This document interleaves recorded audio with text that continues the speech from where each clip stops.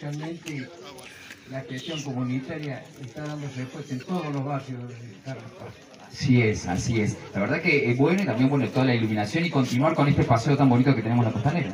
Precioso. Yo lo camino todos los días, de acá hasta el final, y soy la amante de sacar fotos y todo, me encanta. Hermoso. Lo que hacemos todos siempre. Acá lo tenemos a unos de los primeros integrantes del centro vecinal de ¿Cómo le va? ¿Cómo le va? ¿Cómo, cómo es su nombre? Cuevas. Cuevas. Bueno, ¿y qué? usted me imagino que cuando acá no había nada, no había nada, la costanera no era nada. Todo improvisado, todo mal, mal atendido, qué sé yo. Claro, todo, todo una mugre, diríamos. Desaprovechado. Esto volvió a revivir con estas costaneras, estas veredas tan lindas que hay. Bueno, gracias a Dios que hoy se ha podido concretar.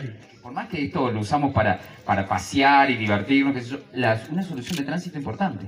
una solución de tránsito, pero ahí Marce cuando comentabas esto de las historias, lo que era Carlos Paz, la evolución, el desarrollo, ahí se me viene a la memoria algo que tiene que estar en la memoria de, de todos. Aquí hubo una intención fuerte desde eh, lo inmobiliario de que todo este sector se convirtiera en un espacio donde primaran los departamentos, Puerto San Roque le decían. Exactamente, y por eso recordar un trabajo y la historia también que representa Esteban Avilés para esta ciudad y un montón de gente que acompañó en la oportunidad para que en definitiva esto sea un lugar que corresponde para todos los vecinos, para la comunidad, que sea disfrutado por cada uno de los turistas.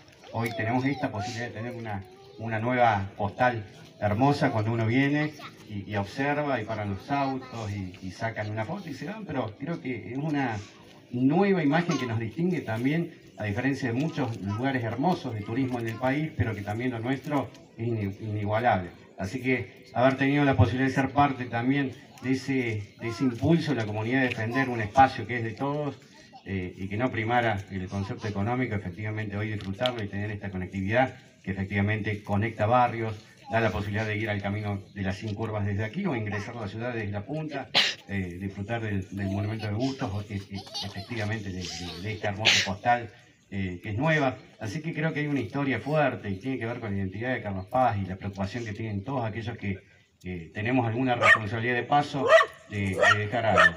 Fundamentalmente son ellos, las instituciones, los centros vecinales, cada uno de los vecinos, eh, quienes cumplen un rol fundamental. Nosotros intentamos en ese camino interpretar, eh, muchas veces nos equivocamos, eh, pero muchas veces cuando ah, tenemos un error lo subimos